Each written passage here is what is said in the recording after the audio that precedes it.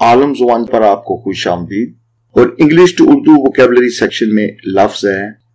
stable stable S T A B L E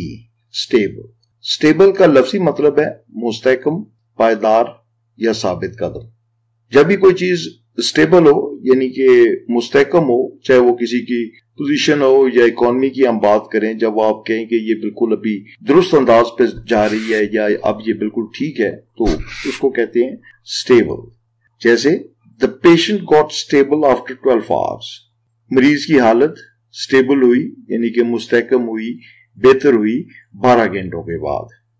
The condition of the economy got stable after foreign loan ملک کی جو economy تھی، جو معاشی حالت تھی، اس سٹیبل ہو گئی جب اس کو بیرونی لون ملا۔